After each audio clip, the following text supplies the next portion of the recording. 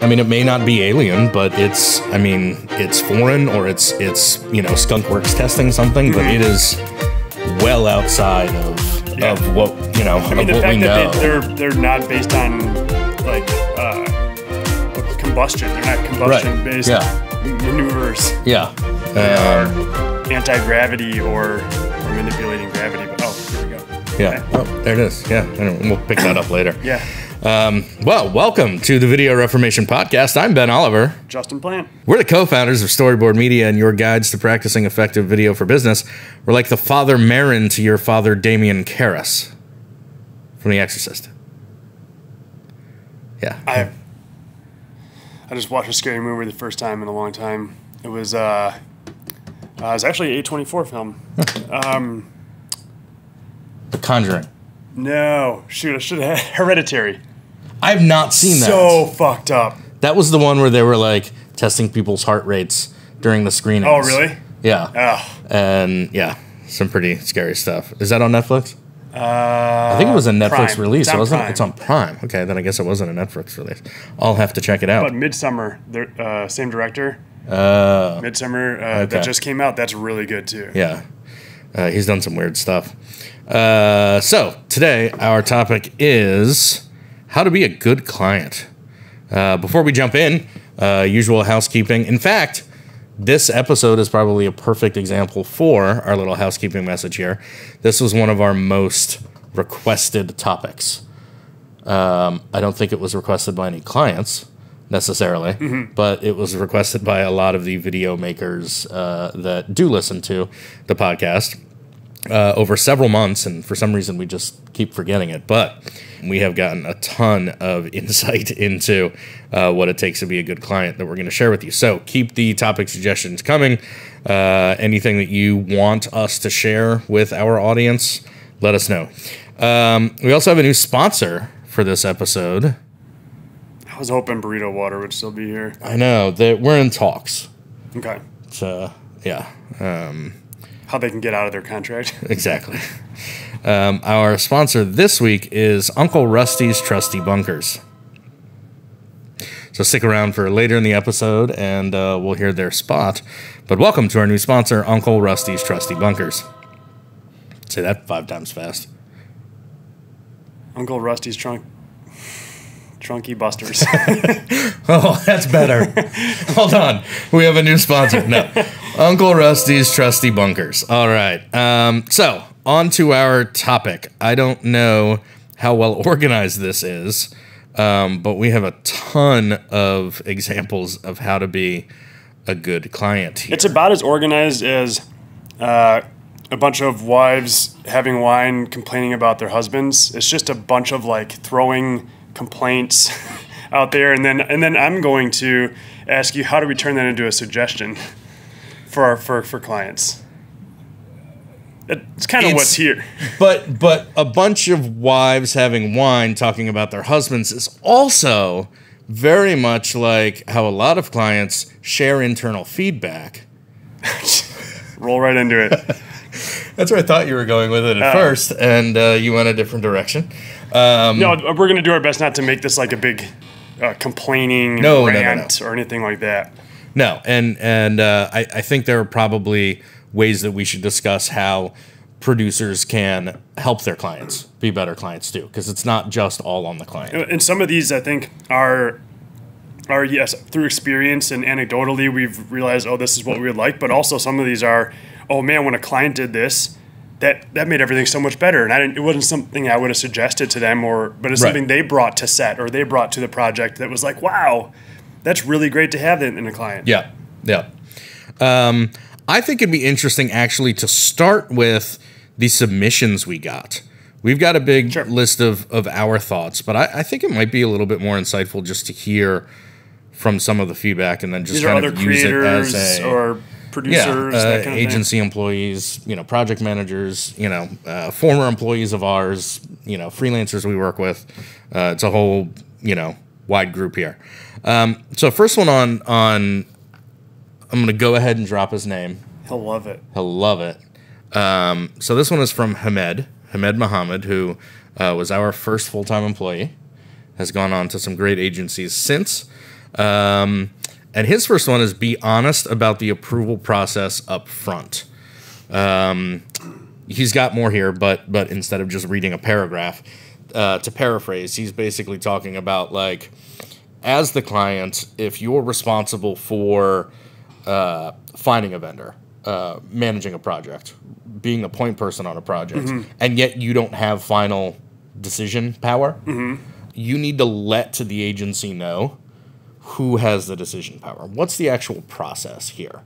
Um, a lot of point people like to, uh, you know, try try to to take on as much as they can for their job, right? Impress their boss, do a good job, but but and also impress the agency. exactly at the same time impress the agency saying I got this, and then you get all the way to like a final approval, and he's like, all right, well let me send it to my boss, and all of a sudden there's someone with new Three ideas. new rounds of revision. Yeah. And and I think that goes also to to making sure that the that all of the decision makers are involved from the beginning. Because there's so many individual perspectives. How realistic is there. that? Do you think? I, Depends on the size of the company. a- a- again, I mean, the first opportunity for an agency to to help their clients be better clients is to force the question: Mm-hmm. Who is all involved in this, and how much do they want to be involved? Mm-hmm. Do they want um, do they want to be part of every small decision, or do they want to be ultimately informed of what's going on? Mm-hmm. Do they want to be just kind of apprised of the situation once a week? do they need to be involved in every decision that's made or do we know that they're going to have final sign off and, And they're not coming in until the third round. exactly and so even if you can't bring somebody in from the beginning knowing that that person's going to be there as a client sharing that that person's going to be there can help anticipate problems what might some of the problems be when you do get somebody coming into the middle of the process I think contradictory feedback, like. Mm-hmm. All, all, like let's say we put a certain color grading on it, right? And it kind of gives it a somber tone or something. And they come in and, and blow it all up and say it's not happy enough.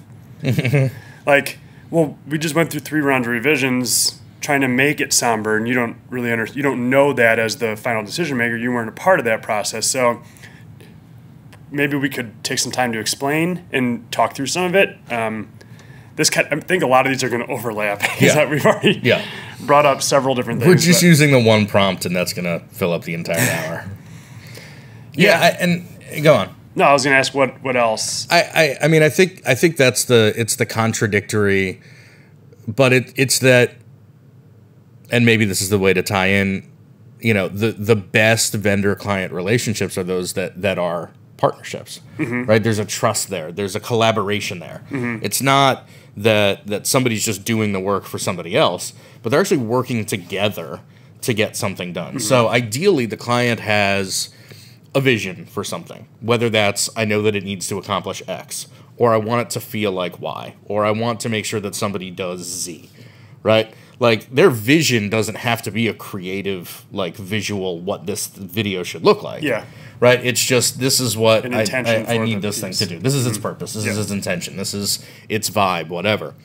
And so there's a lot of back and forth. I mean, I mean, so often we talk about well, for the first four or five years of, of us as a company, we defined revisions as those things that happen between the first cut and the final cut. Mm-hmm. And the way that we operate now is that we have one round of revisions, but at multiple stages throughout the entire process. So there's there's a round of revisions at the creative treatment Yep. right? There's a round of revisions at the script. Yep. There's a round of revisions at, at casting locations.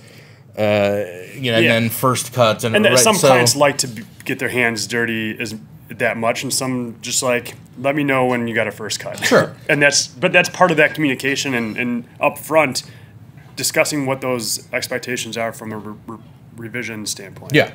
And if there's one person who's primarily responsible for having those conversations with the video agency, um, that's a I mean, you're you're you're molding something, you're creating something together, you're making all of these little decisions along the way. And to then bring in someone at the end of that process who hasn't been a part of the reasons about why we're doing this mm-hmm. instead of this. You know, you said color. One of the ones that comes to me is like how how salesy is this message? Is it feature oriented or is it mm-hmm. benefit oriented. Mm-hmm. How what level, especially for us, what level of humor do we want to go with? This is something where we want to be like no punches pulled, you know, go for the jugular, be Well, attention getting, or do we want to be like subtle and witty? That's one of the hard things humor? about like a, a, a live action scripted piece is that once you shot everything, that's all you get. Like if you take out, if you didn't design this in such a way where that humor can be Right. removed or added, like there's no scale that you can, you know, the slider you, you can move up Yeah. and down. You kind of got what you got, and if it didn't work, or if we get to third round and the CEO wants to step in and say, "Hey, this is way too funny and needs to be serious," Mm-hmm. it's really too late, and you almost have to start from square one. Yeah. Yeah. Okay. So I think, you know, be honest about the approval process up front, bringing in people, you know, who's involved, those kinds of things. Let's skip to something from Patrick here. Um, that would be Patrick Dunnigan, loyal listener, uh, preferred freelancer. Let's go with square peg round hole, and I only say that because he, He asterisked it and said you may not want to talk about this. No, I think that's a. I think this is an important one. It is. So his his point of square peg round hole is don't hire a videographer to do a short film. Don't hire a short film company to record a meeting for an archive. Don't hire a drone pilot to do your wedding video. Recognize what you're getting uh, and what you can get and work with. Yeah, okay. Sorry, I totally blew that sentence. Basically, hire the right person for the job. Right? I mean, don't.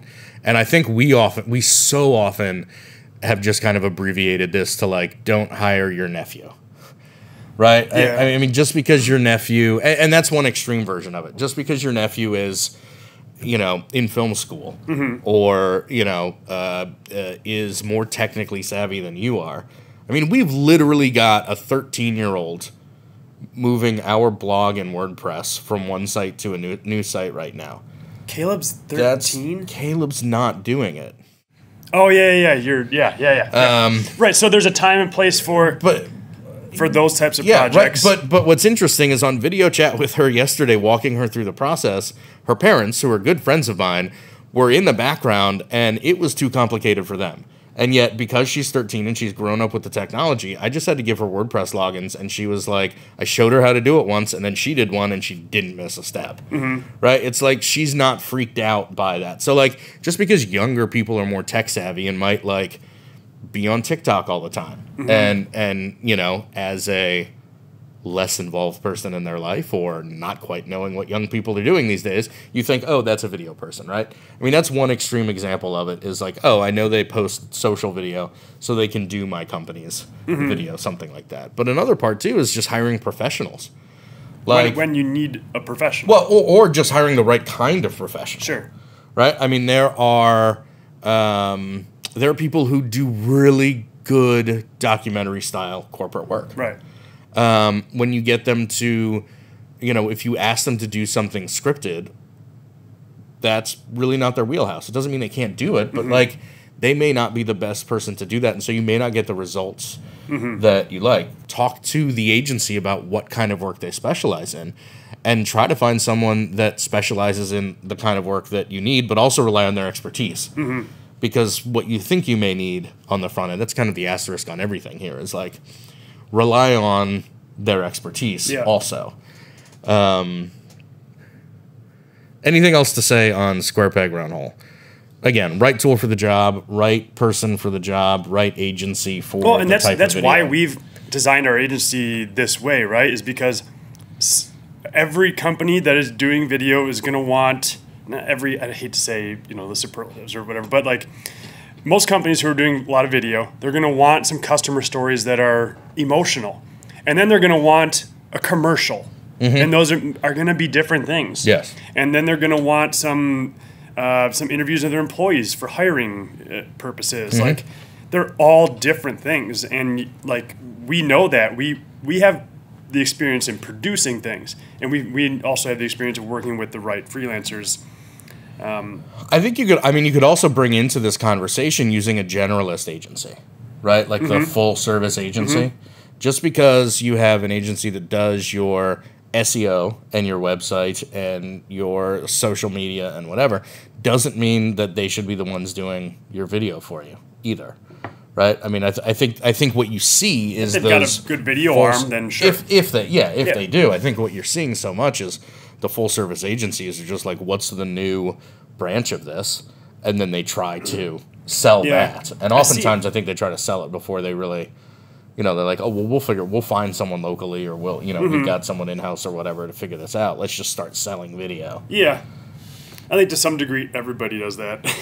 I mean, Yeah. I, I've I've seen a lot of people lately who have gone and hang out their own shingle, you know, and, and go out on their own, and then they put like all the stuff from copywriting to video production to SEO to website Mm-hmm. building, and I don't know, like I just I think part of it is like that's the model agencies are starting to adopt. Yeah.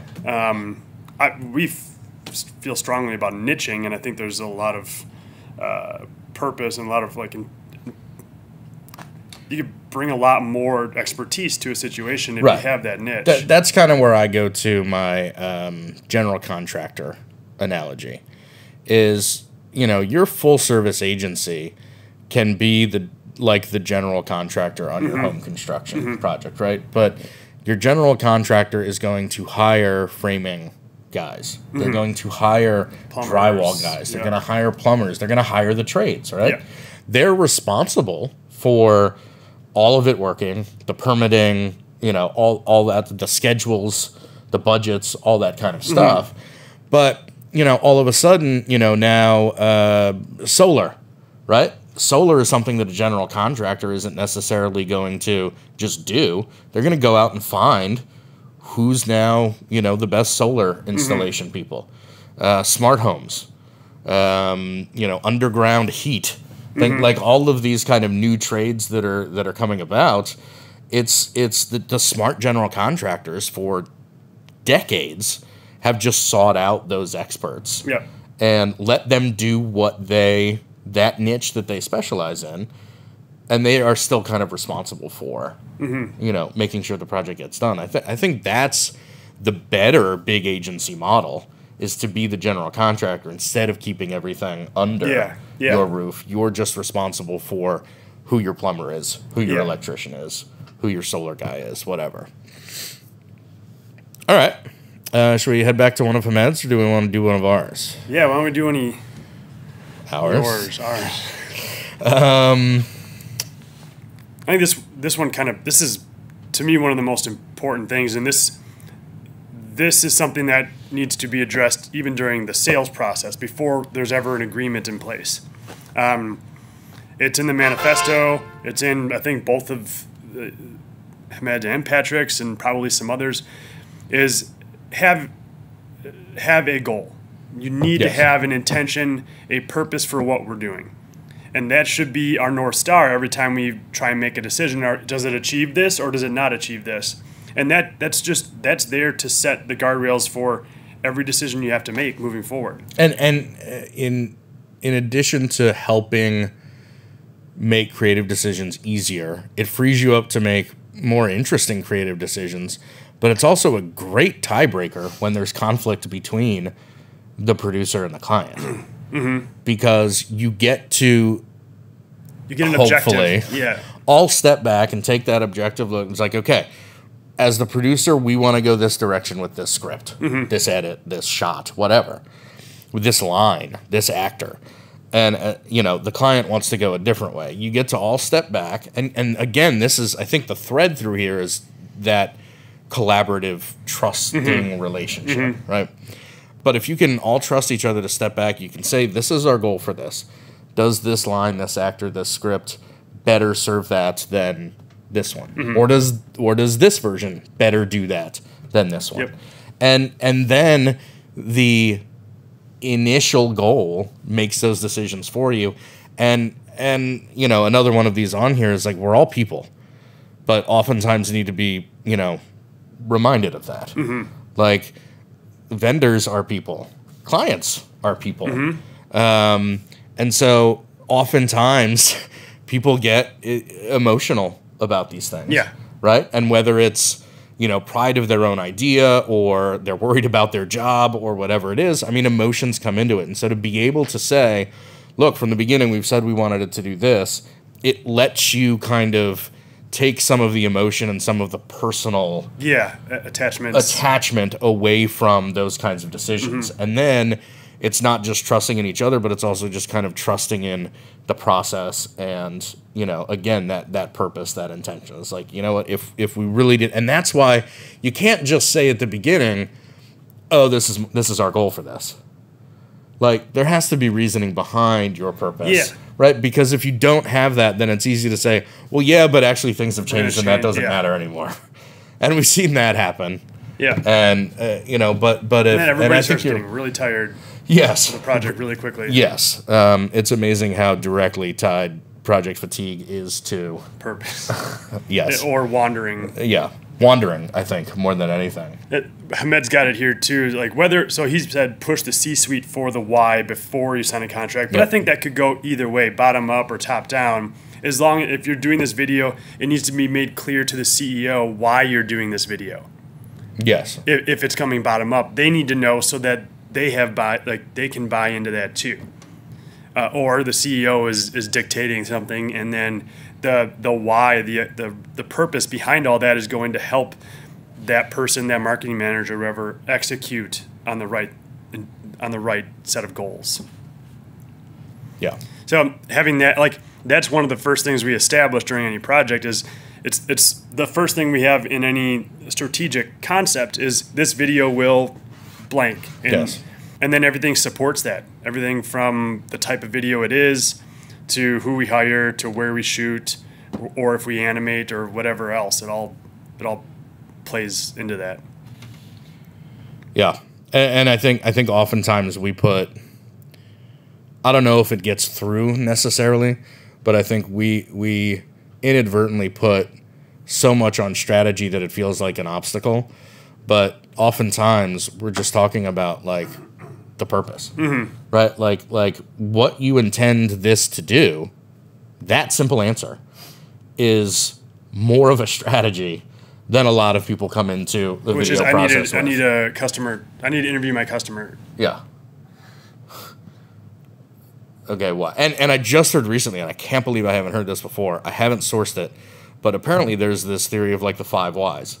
If you if you mm-hmm. drill down five levels of why, you you will ultimately get to that kernel of purpose. Mm-hmm. And so, uh, again, as an agency, as a producer, that's something that you can do to to it, it may not be that your client is is keeping it from you. It may just be that they don't know what the intent or the purpose is. And so they may start with i need to interview my customers. Why? Mm-hmm. Because They're in town. yes. Why okay so maybe, one. Bad example, Justin.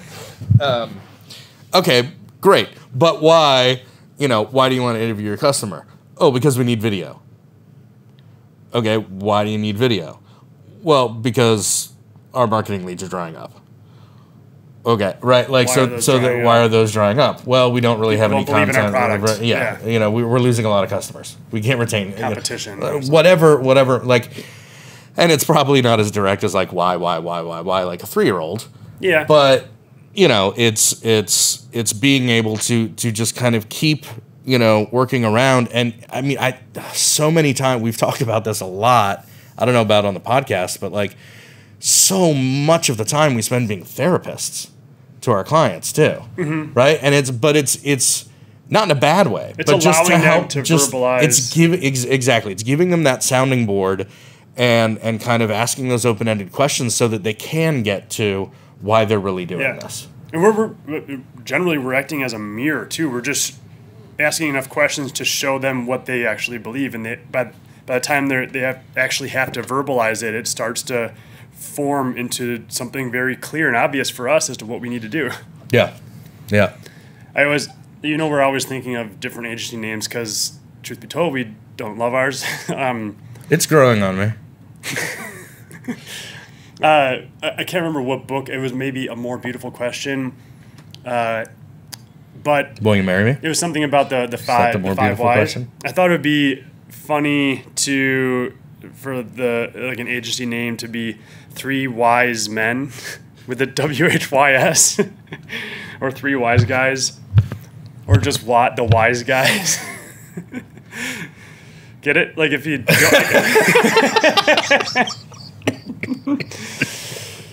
I'm not sure if you get it. I'll write it down on the sheet here. So like W I S E? No. W H Y S. There you go. Yeah. I have a couple more, but maybe we'll do another episode of. I think we need a sponsor break first. Sure. Oh. All right. Um It's now time for our sponsor, Uncle Rusty's Trusty Bunkers.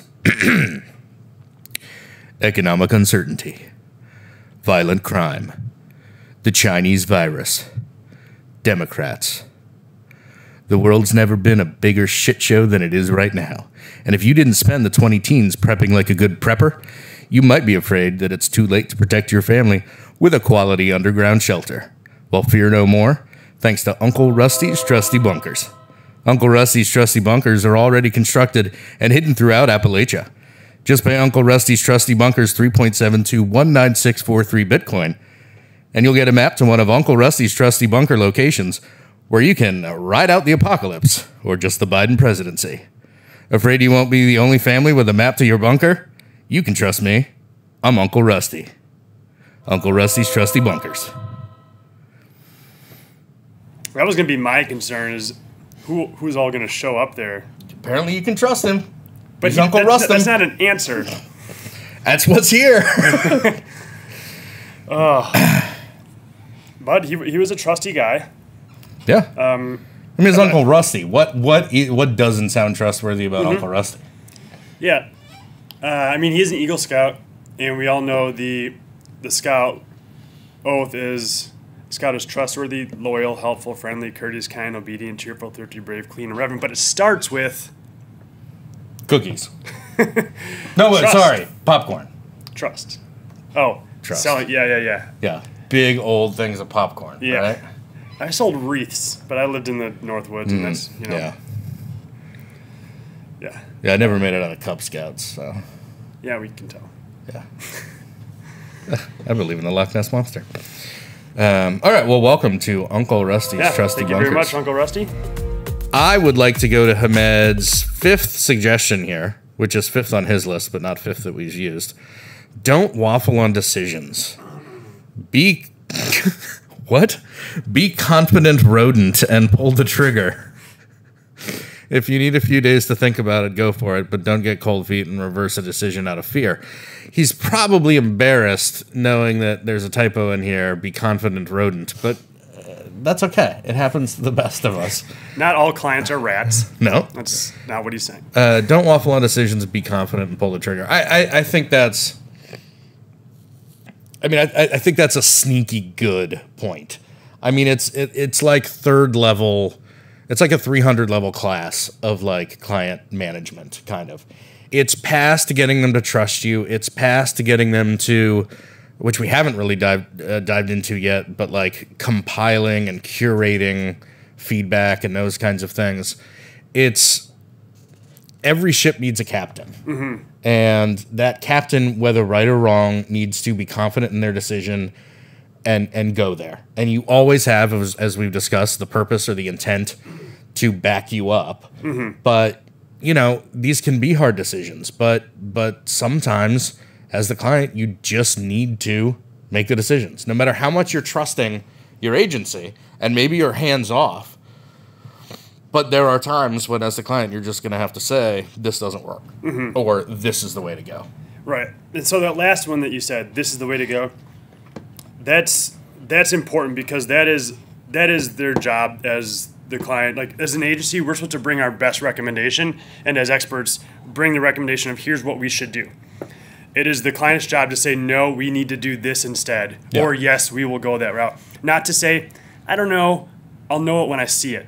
That is perhaps the worst thing you can say Yeah. to creatives because then what do, you, what do you expect out of us to to just keep trying things for the next four months until you get something that you like Well, and it's Without any real direction, like- It's it's, it's rant time. Um, I, that is on Patrick's list. That is on our list. i know it when i see it is not a decision maker No, and it's not. It's not even productive feedback. right Um, it's it's it's worse than a wrong decision, Oh yeah. right? Uh, It's I- no I mean, that's exactly what you were saying, but but but it it gives it gives nobody a direction to go, and it probably is a symptom of maybe a lack of a belief or just a lack of that original purpose, that original Mm-hmm. intent. Yeah.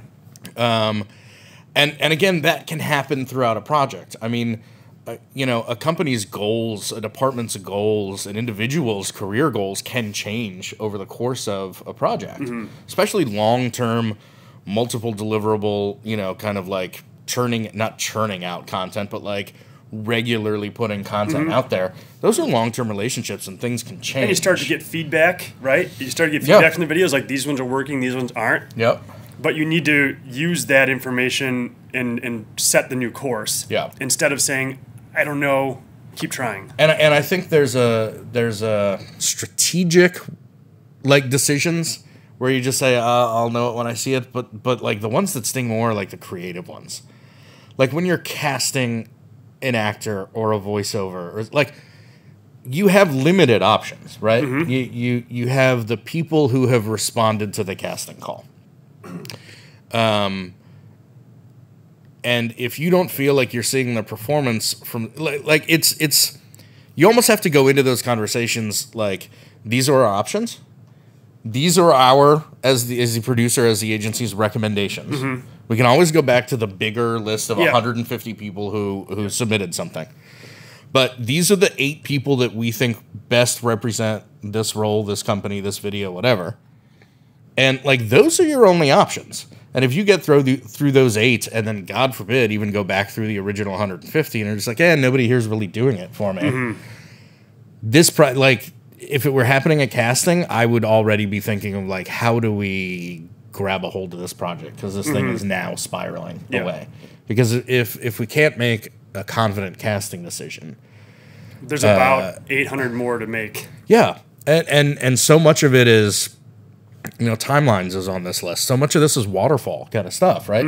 Like it takes finalizing a script to do a read through. It takes casting an actor to do a read through. It takes finding a location to schedule a shoot. It takes, you know, all of these things have to happen before something else can even start. Right. Um, you you can't start editing without having shot the thing first. Right. Right. I mean, that's the most obvious. Right. So so it's it's not like you know an initial timeline uh, is going to happen if we don't hit the dates along the way because every day delay we have in making this decision pushes everything behind here back a day. And then and then what happens when you're working with an agency who has other clients? Well, they probably, if as a client you can't adhere to the timeline, they probably then go work on their other clients' work. Because and come back to you when they can because and that might have been a little petty sounding but but i mean you know the agencies are are the agencies hire project managers to manage multiple projects among you know f- basically fixed resources and so as a project manager if i know that i can have this person editing this thing for these two weeks Yep. and this person editing this thing for these two weeks if the first one ends up going four weeks that makes it really hard for me to put that editor on the next thing that they're supposed to do and what I really should be doing as an agency is putting them on that second project and then coming back to the first project mm-hmm. because they couldn't get what we needed in a mm-hmm. timely manner. Um, and and you know there isn't necessarily indecision or malice involved in those non-decisions. Sometimes it's just that there's not like an immediate need for something. Like it's it's often better to work under a tight, strict deadline because there's an event Yeah. or a product announcement. There, there's something on a calendar. Uh, you know, the 15th of next month.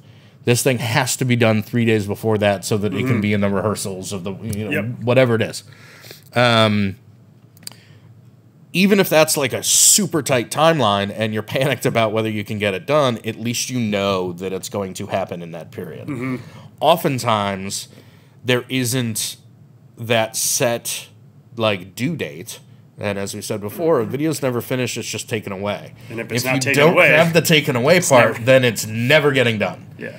And you know, different agencies work different ways. I mean, there's a whole lot of agencies that will just charge you delay fees or mm-hmm. late fees to, to do that kind of mm-hmm. thing.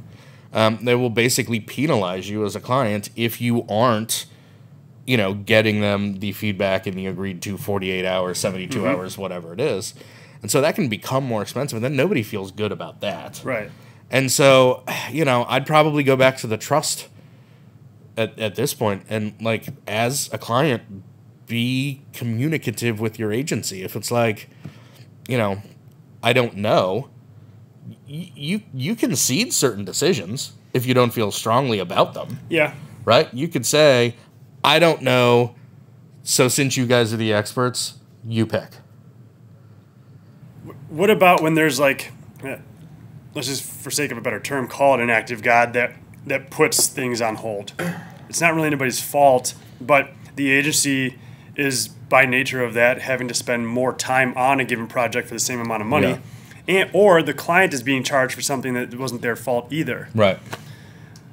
What's the right thing to do? Go to a completely socialist system where money isn't involved and um, Tear down the system. yeah, anarchy, obviously. I think that's where you just have to talk. You have to talk Yeah. together and figure Well- out what's fi- like. Again, you said these are humans. and that's the, and that's the thing. I mean, we've had I can't tell you how many times I have been absolutely terrified to have like a one-on-one or even like a group phone call with a client because like it's just not working. Mm-hmm. Right? So a decision isn't getting made, feedback isn't being shared. It could be on either side. And and you have the conversation and like a half an hour year later you're like, "Oh, that was not nearly as bad as I thought it was going to be." Yep. right and and so it's just so often it's so much easier to just have the the quick conversation Come to the table with what you do have. Of like, here's what Yeah. I, here's what I'm feeling, Yeah. here's what I'm hearing, and what I'm seeing, and I, yeah i get i get that you don't you don't see it but i need more than that and so so based on this we really think we should go here mm-hmm. does that work and and and try to give them that because they may be just as trapped um, as you feel yeah, and and they just need some guidance too. So uh, again, going back to the captain metaphor, I mean, a captain doesn't like do all the research and you know he relies on his crew. he relies on his crew to say these are the conditions, this is our chart, this is what's ahead, this is you know how much fuel we have, whatever. Like okay, well then let's plot this course. Mm-hmm. That's what a captain does, and so sometimes you just have to say. You just have to pull off the band-aid and be like like as annoyed as you can be with a client you don't really know what's in their head. And it's just so easy god especially through emails. It's Yeah. so easy. Be a good client by like requiring phone call conversations instead of like emails. Mm-hmm. But like emails are so easily misinterpreted and put off. It's easy to put off a and- decision if it's been asked through email. and i'm guilty of it because i i love the ability to to have the time to craft an email to organize my rethought my thoughts in a response and so I, I fall into it all the time when there are when there are issues and and i hate confrontation too right so like if it's on me i'm going to come up with this like very logical bullet point mm-hmm. response and the the the act of going through that helps me probably more. Like at that point, I shouldn't hit send. I should now pick up the phone, call the client, and just say, "Here are my concerns." and then, well, and then he'll re- you'll realize you misinterpreted it, and you're like, oh, yeah, exactly. oh, you just wanted this. yeah, yeah, um, yeah. No, no, no. I didn't mean so and so. Like I didn't mean rodent. I, I Not meant potato rolls. Oh well that changes everything and you i mean i i have lost sleep i have i mean just with with you know client x yesterday right like it was clear that we just needed to have a, a conversation we talked for like 35 minutes and Clarity. it was clarity Yeah. like like it was like instead of like you know we feel like we're going two directions it was like oh great we're going to do this compromise thing and we all want this thing to be great Yeah. fantastic Yep. and then i could watch hockey um, all right where do we go next Let's hit maybe one or two more, and then I have a question to ask that. All right. Um, I think Patrick's number four here is what like I'm that a lot. thinking. Questions before criticism. Questions phra- phrased properly can lead to better understanding in conversations than criticism. Say, I felt like the mood dictated cool versus they thought warm for the color set, dressing, etc. So, this to me kind of ties to problems before solutions. So, one of my big things with client feedback is I'd rather hear from a client, I don't like how this shot works. Mm-hmm. Instead, or I don't like this shot in this montage. Yep. Right. As opposed to Out the replace shot. the shot at 34 seconds with something else. Mm-hmm. Or, or even like a very specific, like, like why? And so I think the, the questions before criticism, questions before feedback, problems before solutions, again, rely on our expertise. Trust that, that you can share the issue you have with something without having to come with a solution and let us find a solution. when a, when a creative like a when a creative comes to us with with a first cut right? Like uh, maybe it's an editor we hired for a project. We always ask first like what feedback do you want? Yes. what kind of feedback do you want? And that's a really great question. It disarms the entire situation and allows communication to take place first.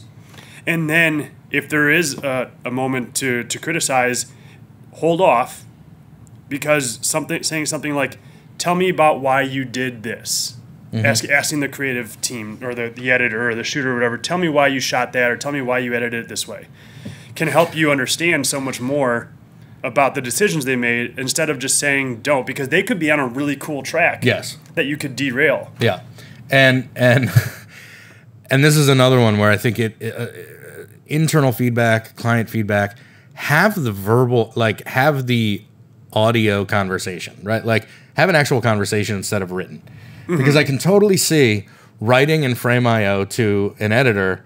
What were you thinking here?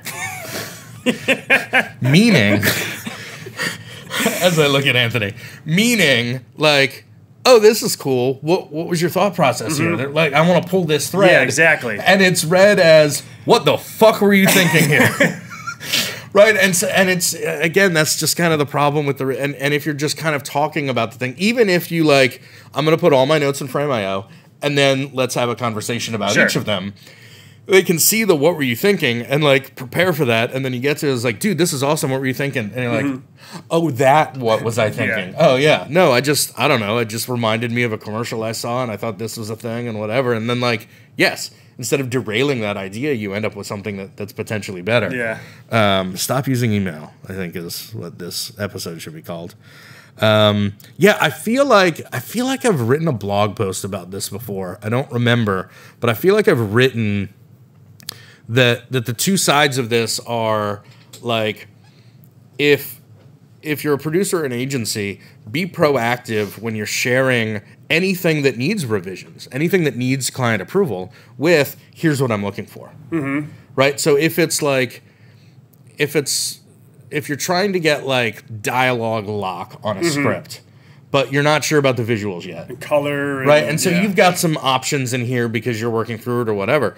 Send the script and say, look, what I'm looking for here is the dialogue. You can ignore the visuals column or, or forget the direction or whatever. We'll figure that out later. Does this messaging work? Mm-hmm. Right? That's what I want to, you know, for this first cut, it's like, you know, we got into this and you said if I thought of anything, try some things. So I've got a cut that was what you asked for, but I want to show you this 1st mm-hmm. What do you think about this, this, and this? Mm-hmm. The flip side of that is being a good client is is if your producer doesn't prompt you for those mm-hmm. before giving the feedback, just say, hey, this is, you know, great, excited to look at this. What kind of feedback Yeah. do you want? So there, there's again, that's one where there's, you know, to be a better vendor, prompt them for Yeah. certain feedback, but to be a better client, if you don't get that before Mm-hmm. giving, and I, we've talked about it before. Some sometimes there are those clients who just need to share something, yes right? And, and they and they don't feel like they can approve anything without asking for you know a certain font change, a different yeah. font, a different font weight, whatever you know. Use use this color in the in the branding guide instead of this color, um, and and that's you know I don't know be a better client by realizing that and not doing that if you don't have to, but you I, know I'll put up with that any day of the week. be a better a agency and and you know get that about your clients Mm-hmm. and you know kind of expect it too it's you know and i think in the being a better better vendor maybe on both sides of this is like don't take anything personally.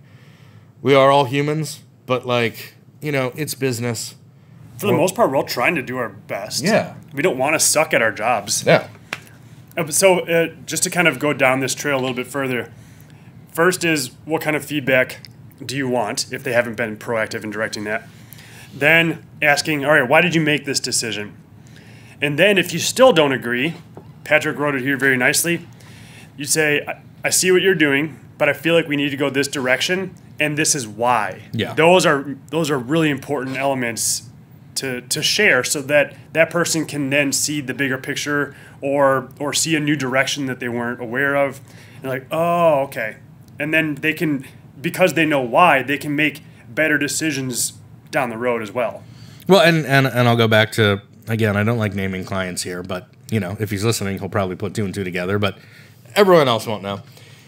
In the client conversation yesterday, you know, one of the things uh, that that I wanted to push back on was kind of the level of humor. Felt like we were getting too like subtle and witty and like humorist, as opposed to like this is supposed to be a viral video, for Yeah. lack of a better right. This is supposed to capture attention and be a shareable thing. Um, and so I left it as kind of the last thing that I wanted to discuss. And so, of course, I was like, you know, okay, I'm going to push back. And, and I pushed back and I said, look, I really think that we should we shouldn't pull our punches. And his response was literally, well, if you feel that strongly about it, let's do it. That's why I hired you guys. I mean, not an entire surprise for that client because he's very even keeled, but mm-hmm. like, like just to hear that even, right, is is sometimes it's as much as you might expect and want to hear that from a client to actually hear it. It's like that went a long way. sure i know that you're going to go on set and direct that thing in a much clearer Yes, clear Yes. direction instead it- of having to waffle on should i should i not Yeah, and not being fully committed, and so we're gonna end up doing both. right But that's fine, and then we get to see which one works. Yep. And I'm totally fine. And that, and that's another thing here too is there's often compromise. There isn't necessarily absolute truth on any of these decisions, right? That's why we put things out there. We look at the analytics, and you know, if people drop off at a certain point, well, maybe you know, adding that third scene was a mistake yeah because I mean that's why you then do the analytics to then kind of inform what you change next mm-hmm. time. You had a question. So we did a lot of. Uh, there's more stuff here, and we could, but I think in general, we got like it's like communication with humans is, Yeah. is a big part of this creative tru- process. Trusting communication with we're all people. Yeah, Yeah. And expectations. there's a lot of expectation management. I could either ask this question now, or or we could turn this into a podcast. But what do you think? A, like all the clients out there, what do you think their response is to uh, a podcast like this? Do you think that they How have- much can I have pay you advice? and how quickly? no, I, I think I, I mean I would love to I, I would love to take that prompt and put it out there to the audience of Those- those people in the clients. clients. Yeah. Just like again, all the feed all the requests for this episode came from producers. Mm-hmm. Various levels of producers and you know, on, on the vendor side. Yeah. And I would love, and we may have to be proactive about this, but I would love for those on the client side to share what makes a vendor a good vendor and what things they've found work best for them as a client also. Um, and I think that that I mean, if we can get some feedback from you all on on that, I think that's a fantastic episode. Yeah, I'd love to do that. Yeah, as we have two audiences, really. Yeah. Joey, quickly hear from our sponsor again. Let's do it. All right. This baby up. Economic uncertainty, violent crime, the Chinese virus, Democrats. The world's never been a bigger shit show than it is right now. And if you didn't spend the 20 teens prepping like a good prepper, you might be afraid that it's too late to protect your family with a quality underground shelter. Well, fear no more thanks to Uncle Rusty's Trusty Bunkers. Uncle Rusty's Trusty Bunkers are already constructed and hidden throughout Appalachia. Just pay Uncle Rusty's Trusty Bunkers 3.721964. Oh, it's changed since the first read. 3.73164 Bitcoin. And you'll get a map to one of Uncle Rusty's trusty bunker locations where you can ride out the apocalypse or just the Biden presidency. Afraid you won't be the only family with a map to your bunker? You can trust me. I'm Uncle Rusty. Uncle Rusty's Trusty Bunkers. All right. Well, Thank thanks you, to Uncle Uncle Rusty. Rusty. Yeah. and the team over Happy there. Happy to have you aboard. Uh, good luck with that. I know the world is in uncertain times right now, Mm-hmm. but uh, we can all we can all rest assured that we can get a bunker. yeah. All right, Rest assured. um, rest assured. Um, I believe that's our episode. That'll do. Thanks so much for listening. Uh, as usual, subscribe, like, whatever, Yeah, podcast, wonderful iTunes, clients out there. Stitcher, all you clients uh, or Let's people in the client position, people who have been in the client position. Um, Yeah, congratulations for making it to the end of the episode, and we'll. Uh, Which one's the dark side? Because people say like I went to the dark side to the agency or I went to client side. Hmm. Which one's the dark side? um, definitely the client side. There you have it. Uh, yeah. Um, okay. Well, you. Uh, let's go back up. to our conspiracy theories. Okay, Yeah. great. How do you feel about the chupacabra? See, some of this, so some of these are just like I don't think there's a theory of chupacabra, right? Like, on. like there, there's theories about JFK's assassination, Sure. but the theory of chupacabra, like, okay, there's some maybe some physical evidence or questionable murders and that kind of thing, but I don't know that the, the theory exists. What would you call the theory? That Well, they exist or they say- don't? Because that's yeah, just I mean, so the theory is that there is this like demon creatures. unidentified demon creature that like eats goats and babies or whatever. But they have found com- really compelling evidence for like hybridization of coyotes and wolves and stuff see, especially once you like add in age, and all of a sudden